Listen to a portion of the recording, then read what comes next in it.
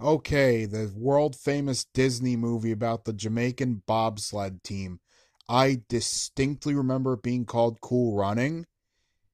It's now Cool Runnings. What do you remember?